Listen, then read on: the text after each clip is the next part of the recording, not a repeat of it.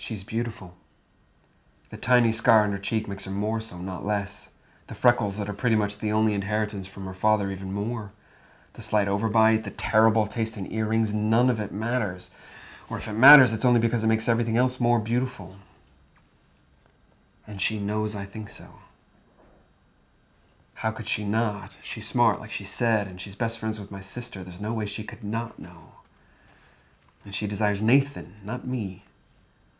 Her anxiety, which I understand, hooray, looked for a place of safety and it found Nathan. It didn't find me. And she knows how I'll take that information. This should hurt my heart. It does. I can feel it. I should also be humiliated that she knows how I feel, and I do. I can feel that too, but I look at her and I just want to make it all okay. So I have absolutely no idea why the hell I say, I'm in love with you, Henna. She smiles a bit at that, looking as surprised at the smile as I am at my words. Mikey, she says, I don't think you are. Then she screams at the deer that's jumped out of the trees and onto the road in front of us, and there's no time to even brake, and we hit it, taking its leg slap from under it, which everyone in these parts knows is the worst thing that can happen when you hit a deer, because now 600 pounds of panic, dying, unstoppable deer carcass are flying right up the hood straight at us. This is how people die, I think, in that instant. And Henna and I are both ducking to the middle of the seat, and our heads hit together with a funny coconut sound, and glass is breaking, and metal is bending above us, which is so loud, so loud. And something hits me hard in the cheek, and I hear Henna make a soft oof sound, and her body shifts away from mine, and it's only now I realize the car is still moving.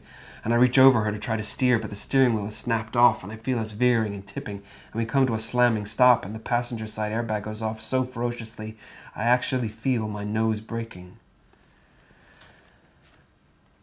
Then it's quiet. Henna, I say. Henna? Her voice, when it comes, is deep and guttural, pain filled. My arm, is all she says. I pull myself up to an almost sitting position. Rain hits my face. The roof of Henna's car is peeled nearly all the way off. We're pushed up against the dashboard, and I turn my neck, ow, ow, ow, to see that the deer somehow went all the way over the top of us, which is some kind of freaking miracle. Its bulk takes up the entire back seat, its neck broken, its dead weight pressing against us. The engine stopped when we drove into what I now see as a ditch, and I can hear movement all around us. I must be in shock.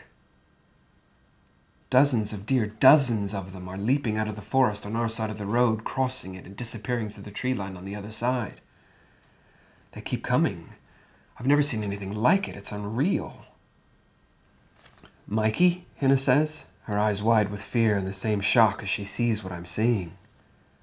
Her left arm looks awful, twisted in a horrible way, so I take her right hand and hold it as the impossible flood of deer spills around us like we're an island in a river.